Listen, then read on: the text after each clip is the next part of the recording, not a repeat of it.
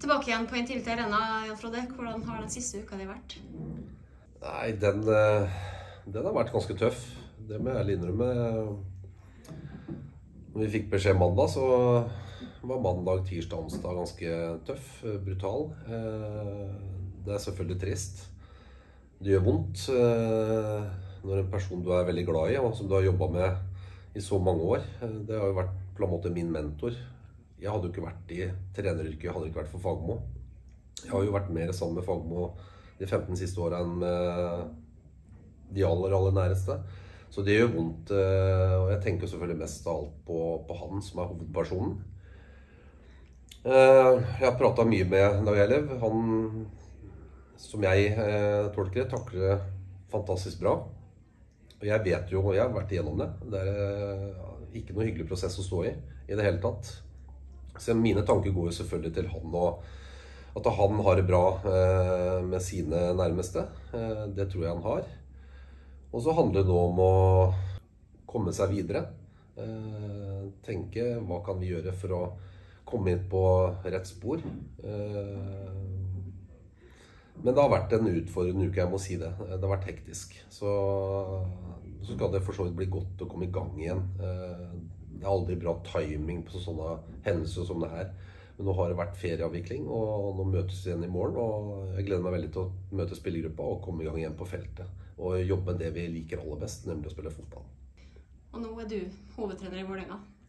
Hvordan eh, blir det for din del? Jeg fikk spørsmålet. Eh, Dag Eilev eh, sa det også til meg at nå må du Jeg ønsker at du skal lede team og laget fram til det kommer en ny hovedtrener inn.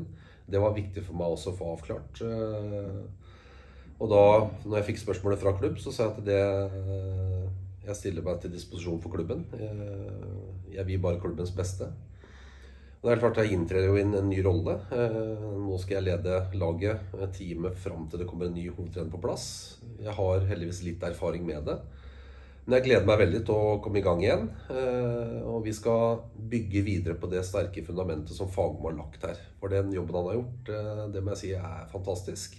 Og vi skal bygge videre på det. Og så får vi rett og slett bare gjøre vårt ytterste hver eneste dag for at klubben eh, og laget skal kunne få noen gode prestasjoner.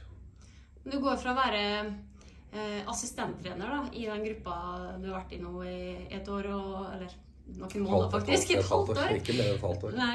Eh, til å bli hovedtrener, kommer de til å merke forskjell på Jan Frode Nordnes? Nei, det tror jeg ikke. Eh, jeg kommer til å være meg sjøl.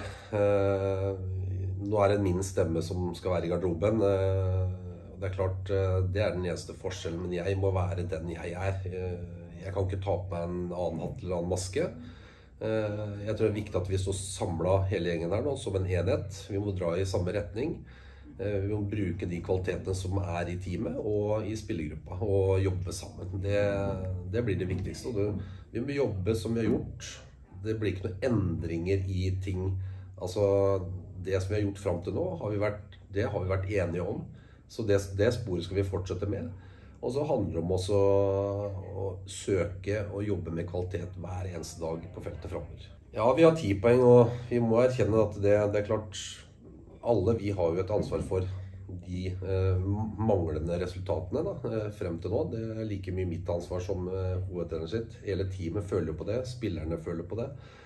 Det er ikke bra nok, men samtidig så må man også se bak, evne og se bak resultatene.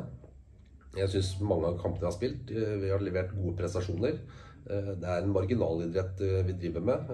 Du har kamper der her hjemme mot Lillestrøm, du har Godset, som jeg mener det har vært litt mye stang ut.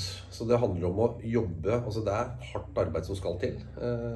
Søke og prøve å få noen positive opplevelser for å frigjort litt energi. For vi har for få poeng i forhold til de prestasjonene vi har lagt eh, for dagen, mener jeg. Eh, og jeg sier ikke at det er urettferdig, det er sånn fotballen er.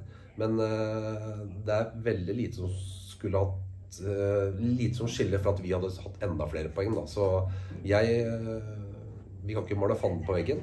Det er kanskje litt lett at omgivelsene maler fanden på veggen, for de ser på tabellen. Men vi må fortelle oss sjøl og spillergruppa at vi har prestert av masse gode prestasjoner. Vi har hatt bra utvikling. Det må vi bygge videre på. Bygge videre på det som har vært positivt. Så får vi håpe at det kan løsne ved et godt resultat. og jobbe videre derfra.